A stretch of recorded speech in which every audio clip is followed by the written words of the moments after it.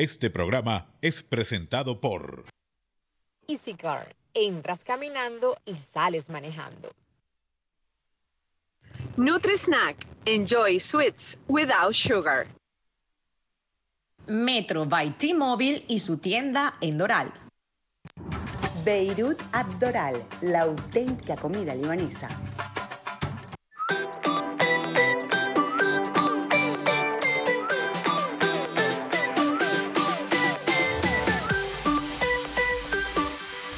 Hola, hola, hola, buenos días. Hoy es lunes 18 de enero del 2021. A leer la prensa y los titulares para estar al día con toda la comunidad en el sur de la Florida, con Venezuela y los Estados Unidos. Hoy comenzamos esta semana con mucha información que BTV les estará llevando a todos sus hogares. La mejor y más veraz de lo que sucede en Venezuela, en Estados Unidos y el mundo. Y lo más importante para nosotros, que llegue hasta todos sus hogares, donde quiera que ustedes se encuentren, como todos los lunes, directamente desde España. Tenemos a nuestro brujito consentido, Fernando Javier con todas las predicciones para esta semana y por supuesto con el horóscopo, así que prepare lápiz y papel para saber qué dice su signo. Por los momentos, vamos con los titulares que dice por aquí Susana. Léeme el primer titular.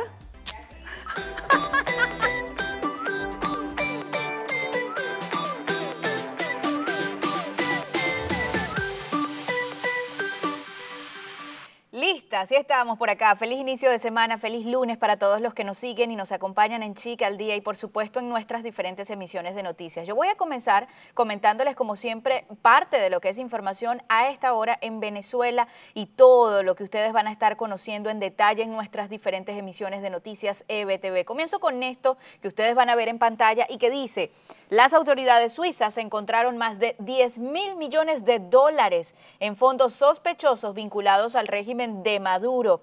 Los fiscales en Zurich se enteraron de que personas cercanas al chavismo, al régimen de Maduro, tienen cientos de cuentas en alrededor de 30 bancos en ese país. La Fiscalía de Suiza identificó cuentas bancarias que contienen más de 10 mil millones de dólares que sospechan provienen de fondos públicos malversados en Venezuela. Desde que se abrieron estas investigaciones a finales de 2019, los fiscales en Zurich se enteraron de que personas cercanas al régimen de Nicolás Maduro tienen fondos en cientos de cuentas alrededor de 30 bancos. ¡Qué barbaridad! Así está la situación de este régimen de Nicolás Maduro, que se ha encargado de mover estos ilícitos de tal manera que estas personas que están alrededor de ellos pues estén ahora en medio de todas estas investigaciones que comienzan a circular precisamente cuando en Venezuela se sigue viviendo una situación muy, pero muy crítica, propiciada por esto que el régimen ha estado haciendo pero miren ustedes esto también que vamos a poner en pantalla y que tiene que ver con el régimen de Nicolás Maduro también y sus ilícitos.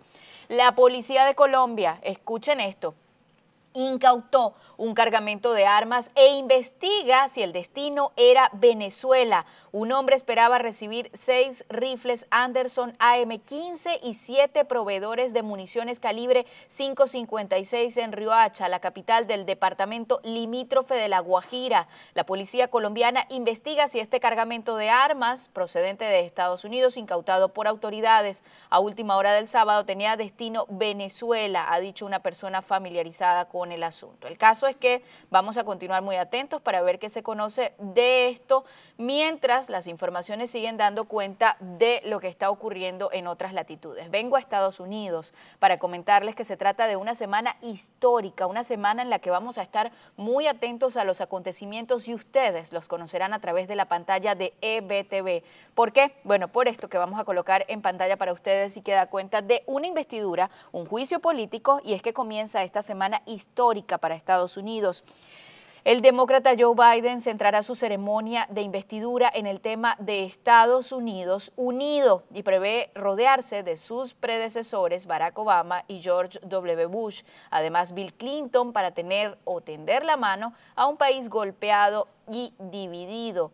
Ante una semana histórica, el equipo del presidente electo Joe Biden sigue develando cómo planea sacar al país de la crisis económica, social y sanitaria mientras se produce un nuevo juicio político contra Donald Trump. De allí que estemos atentos a estas dos vertientes informativas. Por un lado, la investidura del presidente electo Joe Biden y por el otro, el desarrollo de este juicio político. Y ahora paso a las informaciones locales para comentarles también lo que es la evolución de la pandemia del COVID-19 al sur de Florida y precisamente el inicio de nuevos centros para la vacuna del COVID-19. Continúan las personas buscando el acceso a esta vacuna y hay un nuevo centro de vacunación, el del Hard Rock Stadium. Será solo con cita previa, así que mucha atención porque ya Hoy mismo está abierto este lugar, pero en el caso de las personas que necesiten pruebas de coronavirus no necesitan cita con antelación. Ahora, las que vayan a vacunarse, esas sí tendrán que hacer una cita anteriormente.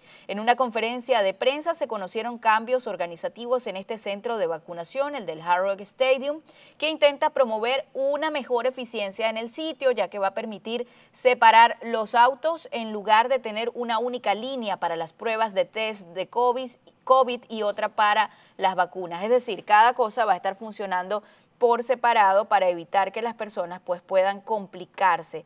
Eh, las personas que vayan a vacunarse, esto será en el lado sur de la calle 199 y los automóviles deben acercarse desde el oeste al este en la puerta 16. Muy atentos con esto, a seguir pues las indicaciones que están dando las autoridades para que puedan tener acceso a la vacuna. Están advirtiendo que igualmente las personas tienen que hacer su cita, es decir, no vaya a ir usted a pensar que solamente con acercarse ya puede tener acceso a la vacuna del COVID-19. No, tiene que agendar una cita tal como lo han venido señalando en el Estado. Con esto yo vuelvo contigo, Kerly. Feliz lunes, feliz inicio de semana para todos. Gracias, mi querida Susana. Y antes de hacer nuestra primera pausa comercial, es momento de hablarles de Beirut Doral, restaurante La Auténtica Comida Libanesa. Ya venimos.